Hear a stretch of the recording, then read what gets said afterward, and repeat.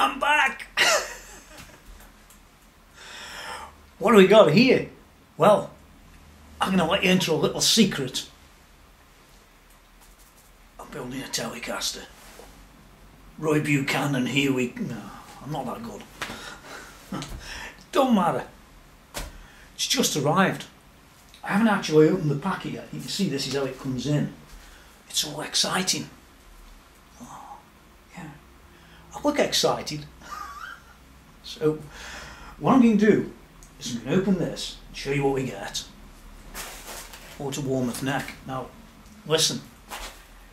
Everything tells me don't buy a Warmoth neck, but I, I bought one. Last time, it was a right piece of trash, right? But it was about seven years ago, so Tony said to himself, they can't be bad for seven years. They'd have gone bust.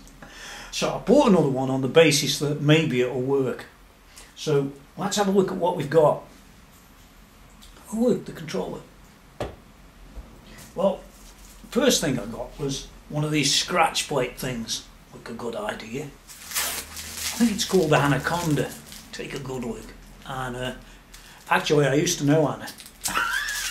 when I was younger, I used to go out with Anna. Anaconda. Yeah, she used to wrap herself around you. anyway, enough of that. That's one out the way. What else do you get? The Warmoth sticker. Get out of the way. You also get the great big fat bill. Now, I'm not going to tell you where I live or anything silly like that. I'm like that. But I can tell you that this thing cost $588 and that isn't threatens.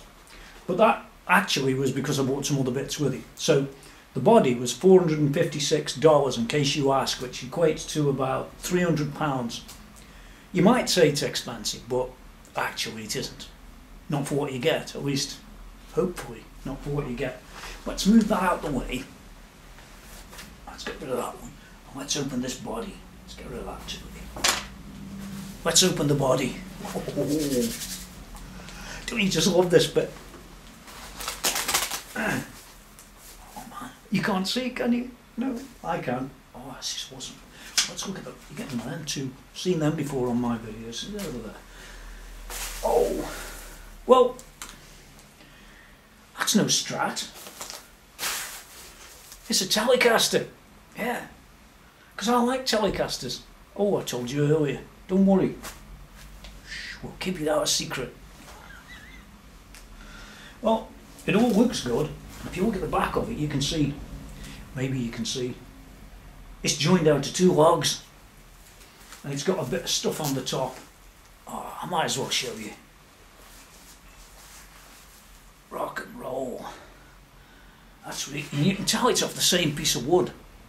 Look, there's a piece there and there's a piece there out the same. Ah, a match. Really good, guys. Yeah, that's good. I do. Anyway, it's got a carve out at the back and it's got the thing at the front. It's a bit like a Strat, but it's a telly. Let's make a Telecaster like a Strat. Something on before. I don't know. Anyway, I'm not going to do that. I make a Telecaster like a Tony McKenzie Telecaster, and that's different because you can't go buy one of these, can you? Oh, you're there. yeah, is it hollowed? Chambered. Chambered. It's hollow. Let's get rid of that.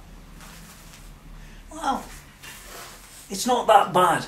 It's not as chambered as some of them that you see. You know, you know what I'm doing, Anyway, back to the guitar. What I want you to do is to make this uh, this guitar. Well, you can see straight off what it's going to be like. It's going to be awesome, isn't it? And I've got the gold again. I, I really like the gold stuff. Goes with the teeth. so I got the Warmoth neck. Now, listen, I haven't plugged any of this in yet. Going to slide that down a little bit. Because here I've got the neck. I've got its paperwork so we can see how much it cost. I'm running out of money, guys. $375. That's about 220 pounds. So that's uh, that's uh, 300 and 220 that's 520 pounds. Well, actually, as far as guitars go, that's not bad. Especially for one that's going to be like this when it's finished. It's, it's awesome. I wanted to get a neck. It was going to stand out like my neck. People want to put their hands around it, but you carry on twiddling your knobs. but here we go.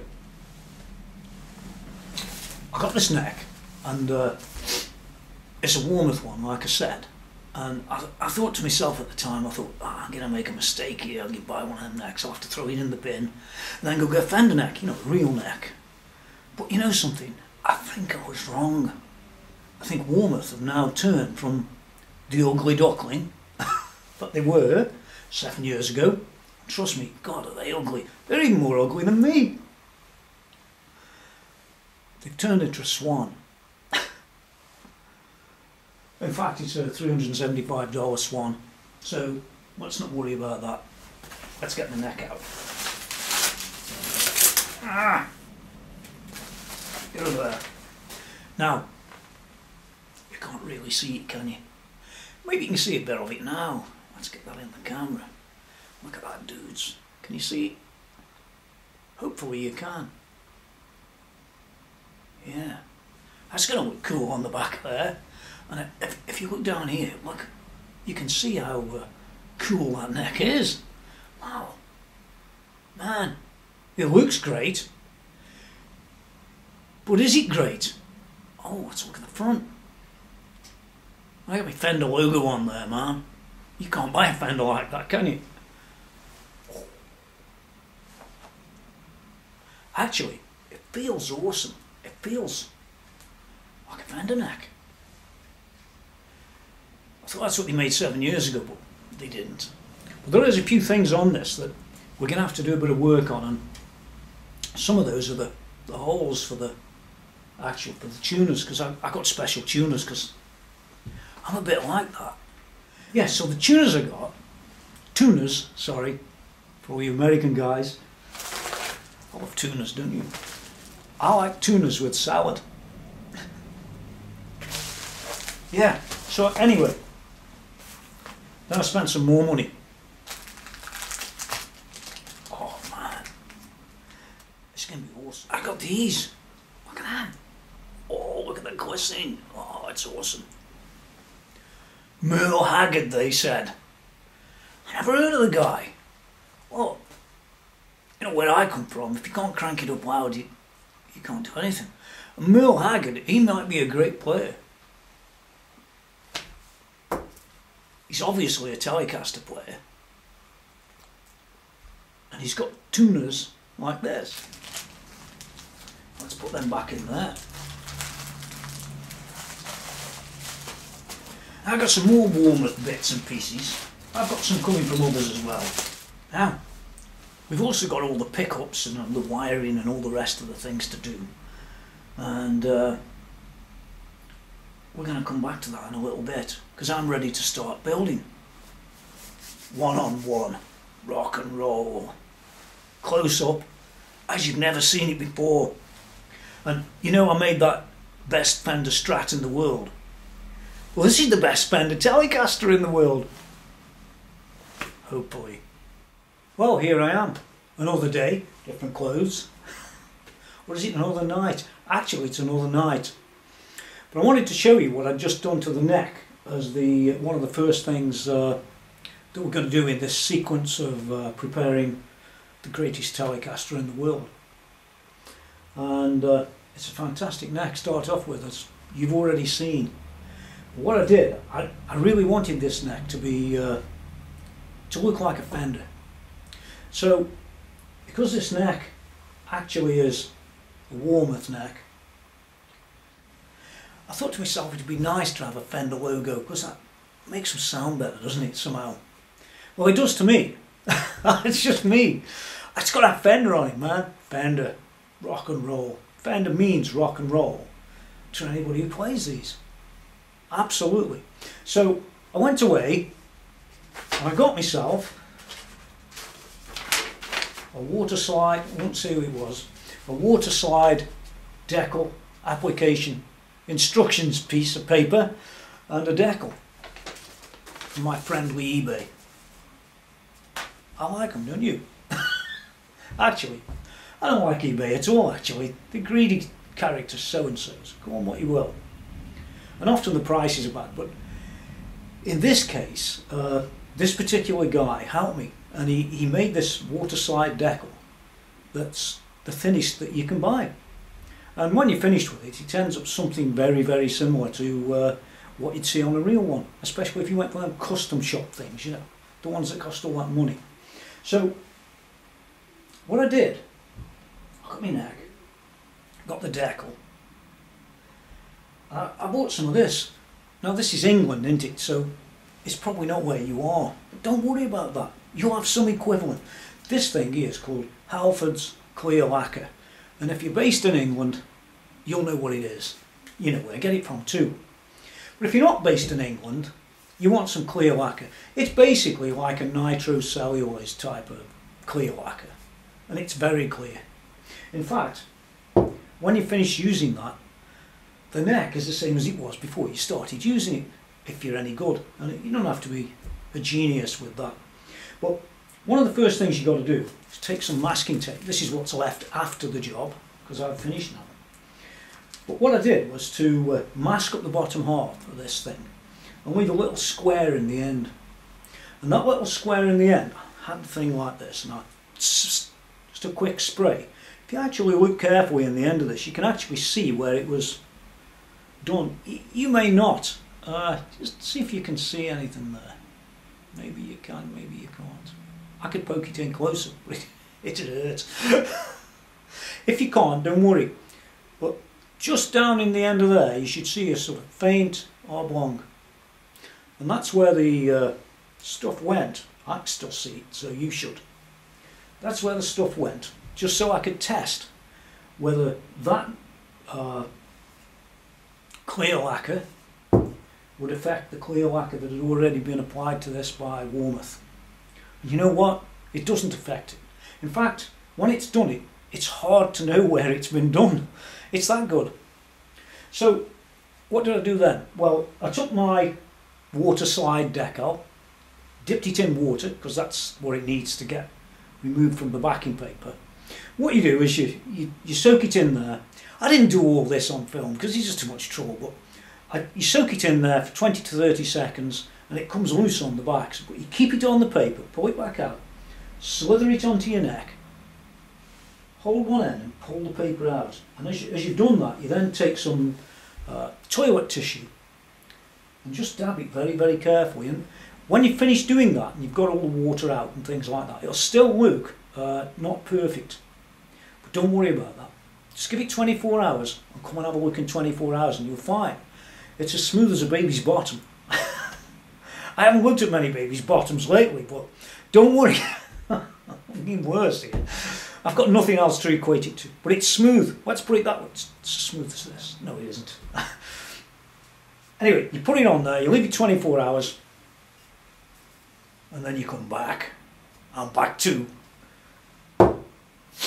and you, you mask the rest of the neck and mask it really well all around these edges all around the back all down here all down this anywhere where you don't want this this stuff to go because it don't come off too easily. Well it does but you've got to know how to do it.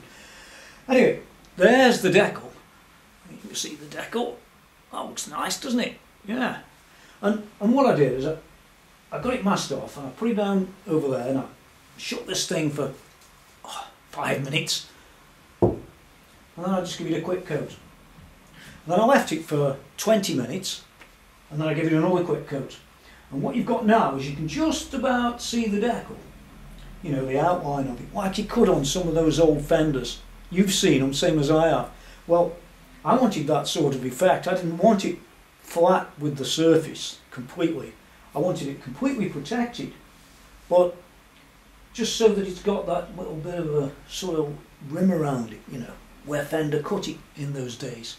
And that's exactly what I've got. This is this is about 25 minutes since I uh, did the spray. So what you do is you peel it all off once it's dried enough. It's got to stand 24 hours then. But what I did, well it was still sort of, and it still is a bit wet, It's hard enough now so it's not going to run, but it's still slightly wet. What you do is I got some uh, turpentine substitute, if you know what that is. Turps, some people call it. I don't know what you call it in America or Russia or Japan, but you'll know what I mean. That stuff you wash your paintbrushes in. Right, turps, turpentine substitute. So get a little bit on a rag and just go around this edge, this edge here, really carefully. And you'll see where some of the overspray was, where it had sort of, well, what happens is it sort of leaks down the edge of the masking tape. And that's a really good way to get it all off while it's still tacky. And it's gone. It's just as if it had never happened. See that? Nice. But then the next problem is going to be on the back of this neck. I'm not sure I've mentioned it before, but I've got the sort of tuners that need two holes on each one. And what I've got to do is masking tape over it, line them all up, press them on, and you'll see two little indentations for each one, which we're then going to drill out. Nice. Oh, it's all been finished now, but it's one thing you got to do to make this neck into something that's really cool. I'm going to let you into a Tony McKenzie trade secret. One that I know you don't know. Now, I've assembled all the components and uh, this is really going to make a guitar, well, aged. Yeah, we want to do a bit of that, right? It's going to be as aged as me. That's a long time. You've got to start up with the right ingredients. Now, be serious out there. This one is called Wild Turkey Rare Breed Kentucky Straight Bourbon Whiskey, 750 ml, and it's uh, it says here barrel proof. Well, what that means is it's a bit like neat alcohol. Oh. Then you got to take a glass, or you're going to need a rag. We've got the neck. Now listen, this is an inside secret. I don't want this getting out, guys. So that what we do is we, oh, you can open the rare breed, and they don't make many of these. I think it's uh, it says here, 54% alcohol. Oh, so you just got to put some of that in there, a bit like that. Now remember, you don't need much of this. You know, these necks are, they don't like water. Well, it's 50% not. So you got the rag. And basically, when you get this, what you're going to do is you're going to rub it on all over, like this. All over where it's been sprayed. Over the bit that matters. It's like this. It's going to change your life. Are you ready? I'm going to give you a demo. You get it like that. You get the rag. But he's drinking. Man. That neck looks better already. Well, needless to say, I, I was joking. Don't go and do it. Just drink the whiskey. It, uh, it does a much better job of you than it would do of the neck. Anyway, back to the real deal. What you've got to do is you're supposed to flat this down, but you know with sandpaper and the rest, and buff it up with a buffer. And you go get them one of them wheels, and you could do that. But I don't bother doing any of that. All I did, which I talked about before, I think, was to just clean around the edge. Important to clean around the edge. About an hour after you finish spraying gets it really just the same as it was before it was sprayed, which is nice. And uh, it's just like original now. But I just want to show you something else about that, uh, that Fender logo, just before we get away from that we never come back to it actually.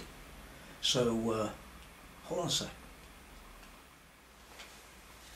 So I've got this book, you've probably seen it, the Fender Telecaster, The Life and Times of the Electric Guitar That Changed the World by Dave Hunter. I had to go buy it just like you will. But don't worry, I only wanted one picture. I've got this Merle Haggard guy. He looks a bit haggard now compared to what he did when he was younger. like me, really. But don't worry, I only wanted him for one thing. I don't know anything about Merle Haggard, so uh, excuse me if uh, if you think he's great. I can't tell you if he's great. Don't make no difference. It's not my style. But what is my style is this. To get this where I need it. When I was fitting this logo, I noticed that uh, on a lot of the Telecasters in here, the logo varies up and down the neck a little bit. And I wanted to get it as sort of authentic really, as, uh, as I could find. An old Merle here has got a Telecaster, which is really nice and clear. And I can tell you now, if you can see that, it's pretty nigh on the same position as his is. So that's how I figured out where to put the logo in the first place. Clever, eh? Let's get rid of the book. Anyway, but that book is actually quite useful for other things. As you're going along uh, doing your Telecaster thing, as we are, you can go and look in the book and uh, see one or two different things of different Telecasters that you might want to include in yours. Oh, my hat's not straight. Oh! Whose idea was this thing on? well, anyway, you can go through the book and have a good look at the things in there. And it talks about a lot of different guitarists like Roy Buchanan and uh, I know, loads and loads of different guys. But uh, it's all interesting stuff. So that's why I bought the book. Great for logos. Let's have a look at these uh, tuners. Yeah, like I said, bought these on eBay. These are the Merle Haggard ones of the uh, Fender Telecaster. It's probably a custom shop jobby. I wouldn't be surprised at all. It's got the little nice bits on the top and stuff like that. But uh, there's one problem. This neck was made for the uh, the old-fashioned style of uh, tuners. And you know the new style has these two little pegs on here. So the problem is that when you go fit this in here, needless to say, there's no holes. You can see, if you look careful, that it's sort of raised. See that? Well, we've got to drill two holes for each one. And of course, if you drill them wrong, it could be off like this, or off like this, or off like that if you drink too much of this. I wouldn't do that, would I? so we've got to get them right. Uh, well, there's a nice, easy way of doing it, or at least this is the Tony McKenzie way of doing it. I haven't read any books on how you do any of this. I'm just like you. Well, I've had this idea when I was asleep the other night because I, think about things like this when I'm asleep. I'm nuts. Well, here they are. Let's move them out of the way for now because they're all the same. Let's take this one back out. And I'm going to get my favourite material. Mm. Tape. Masking tape, indeed. And tear a piece off like that. Remember to use your teeth. And you just stick it on there, basically like that.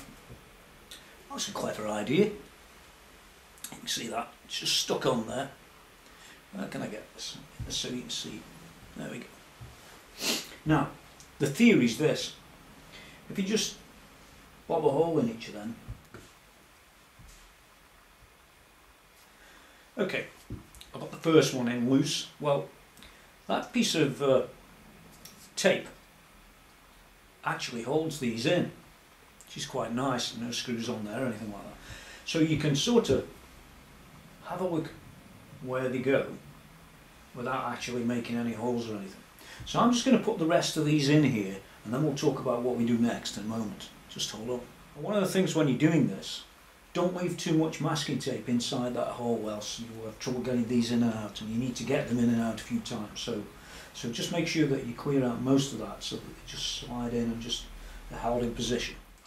Now what the trick is, is to take a straight edge across the bottom here, because you can see the flat, which they are on these.